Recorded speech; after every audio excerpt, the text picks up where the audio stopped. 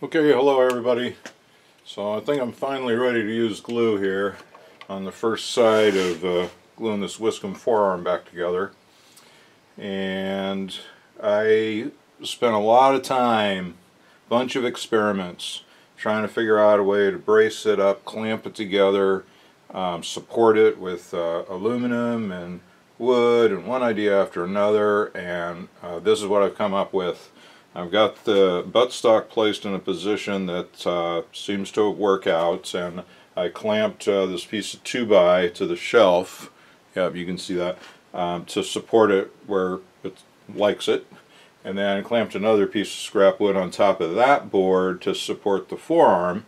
And when I put it together it's it fits so cross our fingers it's going to fit once there's glue in there uh, without too much fiddling or adjusting. Uh, the epoxy gives us plenty of working time. I mean, really, I bet we'd be fine even with a half hour of futzing with it.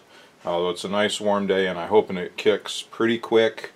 Uh, I've got a meeting in two hours, um, so you know, hopefully it's pretty well kicked by then and I don't have to worry about it. I'm sure it will be. Um, so uh, let's see, the, the steel rods that you previously saw me prepare, um, I cut them off of a piece of, uh, of, of, an extended drill bit to get the drill rod material. And I, and I cleaned it up on the angle with an angle grinder and then I held it uh, against the blade of the angle grinder uh, while it was spinning and, uh, and just twisted it to create some little grooves so that there'd be a good glue lock and uh, and the cleaning up of the surface metal is to roughen it and uh, remove the finish that was on it. And then I washed it in acetone which was probably not necessary but I just wanted to make absolutely sure there's no remaining uh, oils on the metal. So now we're going to mix up some uh, epoxy laminating resin.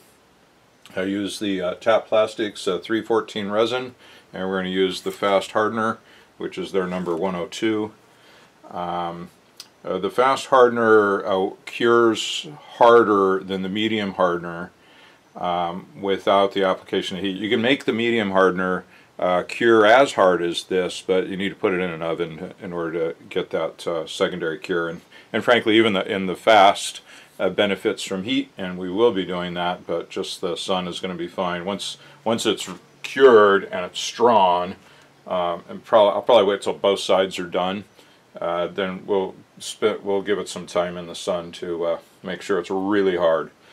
Uh, so to mix the resin, I'm going to tare the cup.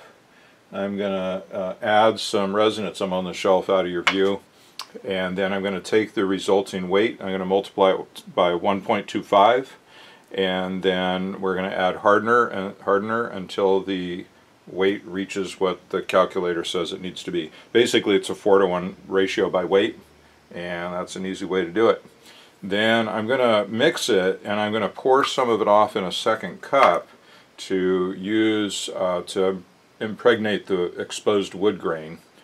And uh, then the other cup with most of the glue in it I'm going to mix um, to thicken it, uh, milled glass fibers to give it strength, and um, it's probably not necessary to use walnut dust for color I'm probably going to add some of that to the um, to the epoxy that I'm going to use on the exposed wood. Um, I'm just going to kind of play it by ear, but I'm probably going to do that. And I'm probably going to mix the brown in with this, just, I don't know why, it, it won't ever be visible, but I'm just going to do it anyway. Because I'm working with wood, I want my resin to look wood-like, I guess. Uh, and if there, well, I actually I do know why I want it to be brown because there's a little spot here I have to fill after the forearms on there. So yeah, I'm definitely going to do that. It is it is necessary. Okay, so here we go. Sorry I talk too much. It's easier to do than to talk about it. Okay, so cup on there, turn the scale on, that tares it. It's a warm day, the resin pumps easy and I think that's going to be plenty. Alright, so we got 7.9 grams, 7.9 times 1.25 equals and I watch the uh, calculator, these cheap calculators, sometimes they don't read your button push.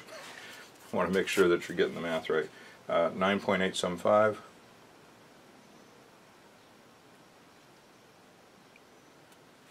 There we go.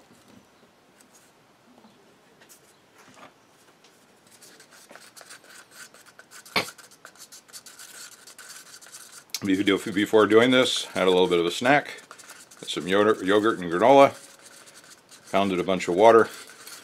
Uh, I want to make sure that uh, my head is alert, my hands are smooth and steady.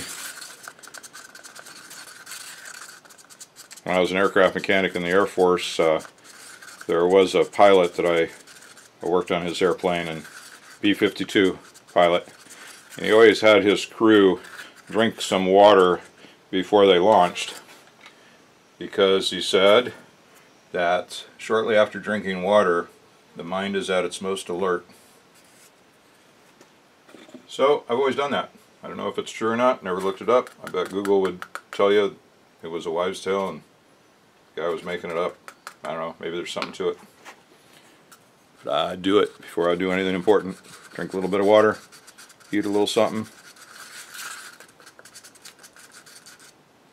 Hmm. Got something in our mix here. So a little something. Okay, so we got our thin stuff down there in another cup, and we're mixing this up. And I'm looking for peanut butter. Get some of that walnut dust in there. Now I created the walnut dust by rubbing a scrap piece of walnut on the end roller of the, the far end roller on the belt sander and held the cup right underneath it to collect it.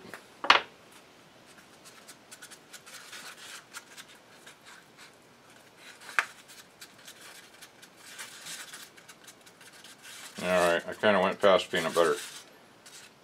I'm going to add a little bit of this to it. And the cup actually absorbed my little bit of thin resin. So I may mix up another little batch of thin resin. Not a problem. Didn't really put quite enough in there. Oh that's a nice consistency there. Yep. There we go. Looks good I want it a little bit darker.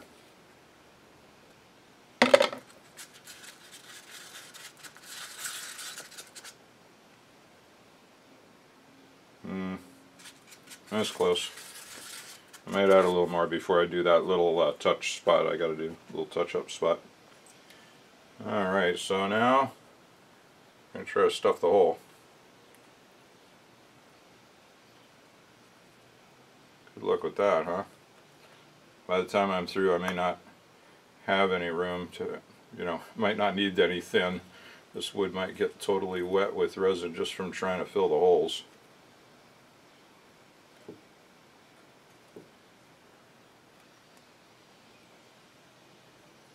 Mm-hmm.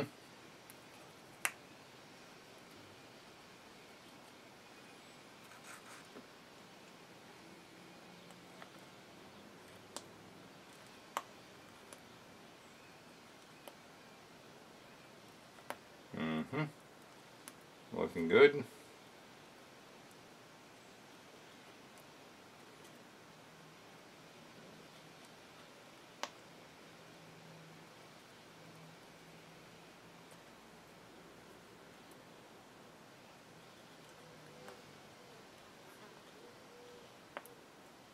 Oh yeah. I think that hole is pretty well filled. When I when I push this in, I'm getting a huge amount out of the hole. So I think it's pretty well filled.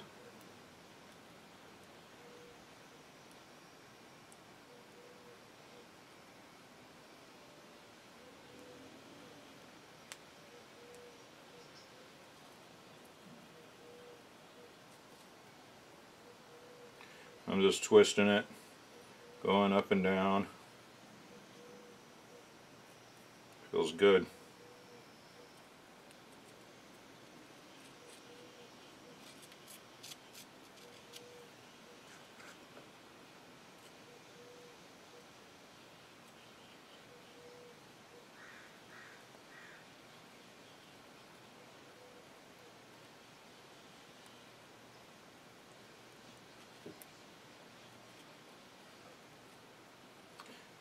It's uh, it's probably not hard to get the material in there, but boy, if it had an exit hole, it'd be easy, right?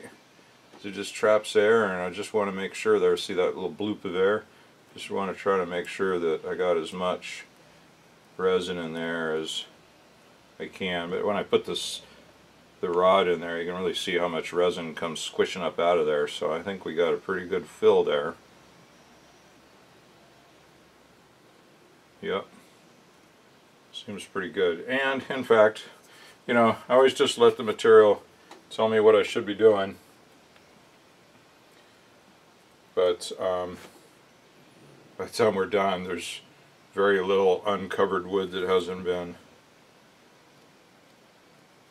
soaked in this resin, but I'm going to go ahead and do the thin anyway.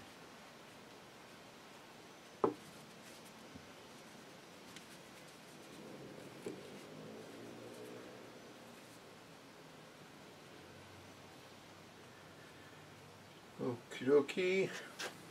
Now, hmm.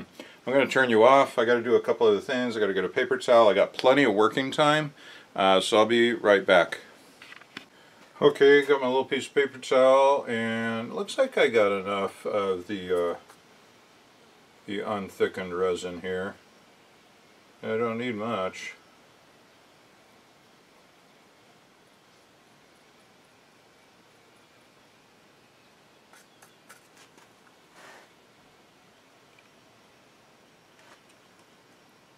Yeah, that looks really nice. Yeah, I had plenty. Plenty for such a tiny little bit of wood here. Well, I don't know if you can see what I'm doing. I'm just using an acid brush and uh, and painting some of this uh, unthickened resin into the wood here just to let it get soaked into that grain.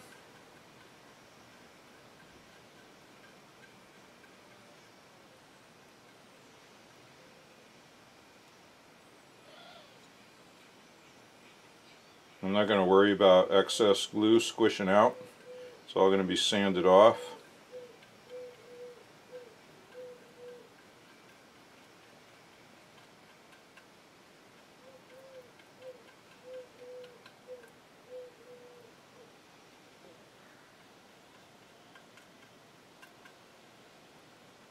Yep, that's that's good and wet.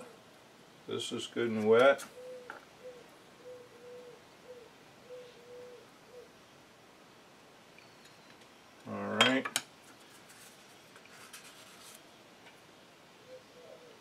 Get some more resin on the top of these pins. Not some more.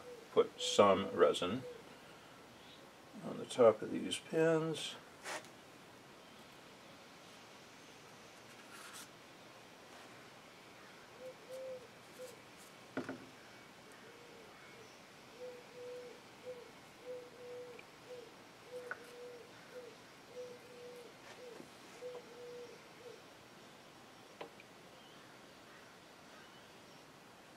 Yep, that looks good and wet. Nice, I like the consistency I ended up with. Looks really good.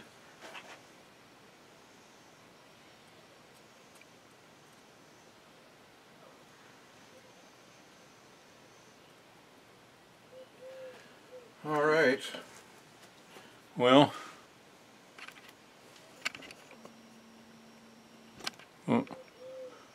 Yeah, that looks like a right proper mess.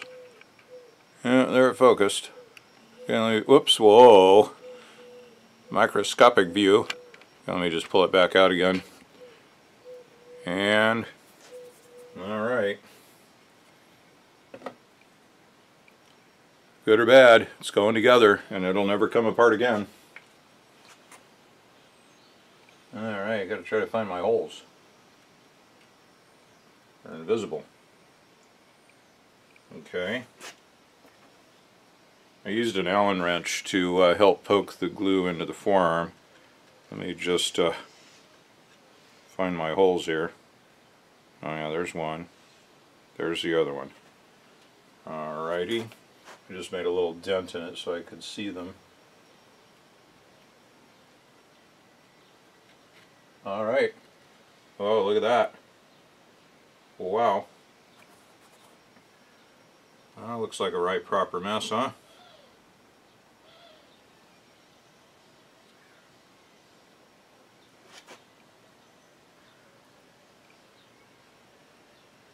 Yeah, when we're done, I'll probably have to put it on the milling machine to clean up the uh, inletting.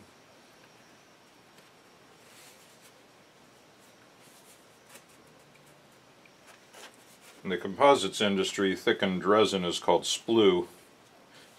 S-P-L-U-E. Some people mispronounce it and call it splooey. Not splooey. Sometimes my projects go splooey. No, I'm just kidding.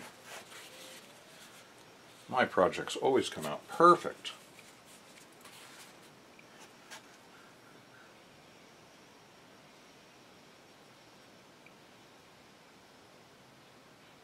Yeah, that's fine.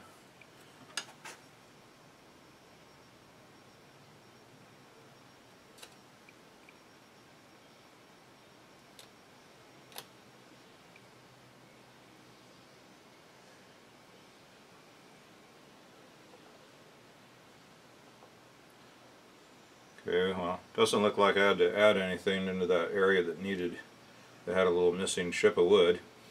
Kind of just all splued out. just kidding, made that up. Squished out. Okay, need another paper towel.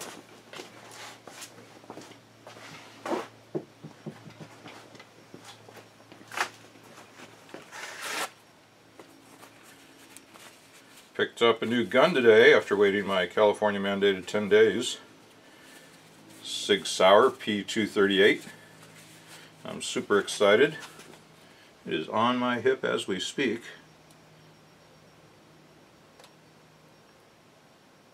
They're really hard to find today. I spent the better part of a day a couple weeks ago calling crazy number of gun shops and I found one.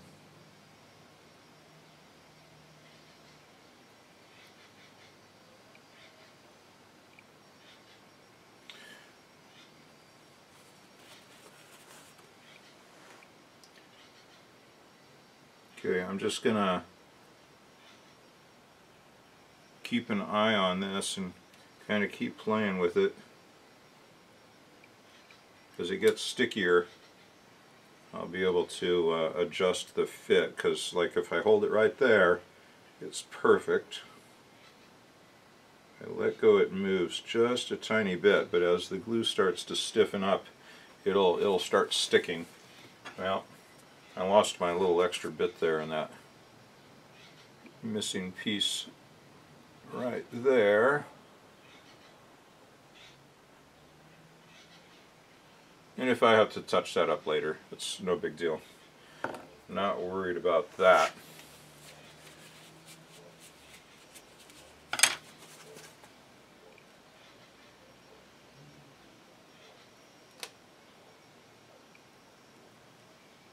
Yeah, I might just stand here and hold this for an hour. Put some on YouTube. Oh yeah, if I hold this nice and tight, it's like perfect. I just couldn't find any way to clamp it. So I think I'm going to have to use the clamps God gave me. My 10 digits.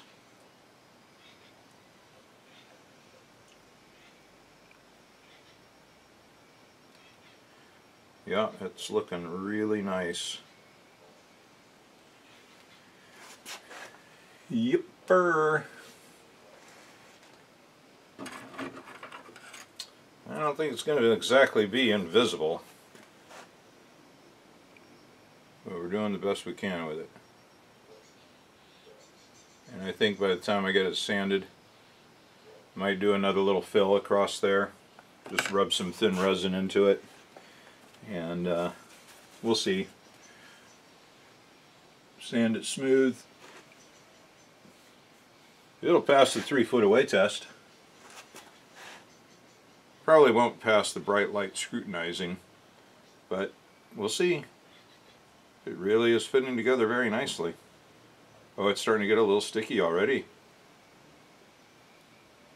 Mm-hmm. Alright, I'm going to do a little bit of tool and finger cleanup and I'll check back with you when it's interesting. Okay, so I'm back real quick just for an update. I've been uh, with this for about an hour, um, squishing it, holding it, keeping an eye on it, and it is pretty well uh, stuck now. And I'm pretty happy with it. I don't think I could have done any better. If I look at it at a certain angle, it's like, oh my god, it's like majorly obvious but if I just change my head position a little bit, it completely disappears. So I think uh, once I sand it, because it's, you know, it's barely detectable. It might be a thou or two that it didn't come out quite flush, but when I sand it, it will be flush, and then that it'll clean up even more, you know, visually it'll yeah, see if I put my head all the way down low, I'm sorry I'm probably in your way, but uh, if I put my head way down low, I can't see it. And up here, I can't see it. There's just one angle here where that little bit of uh, overlap, you know, once that sands away, I, I think it's going to be great. But whether it is or not, can't do anything more about it now because it is pretty well kicked. It is not moving. It is not adjustable. And uh, it looks really good. So uh, that'll cure overnight. We'll do the other side tomorrow. Let that cure overnight. See if the action fits in it. The action is so heavy, there was no way to try to do this with the action attached to the forearm which I did consider. That was just a non-starter. So uh, if we got to adjust these holes, so be it. We can do that. But uh, that's my update. So I'll check uh, back in with you all tomorrow.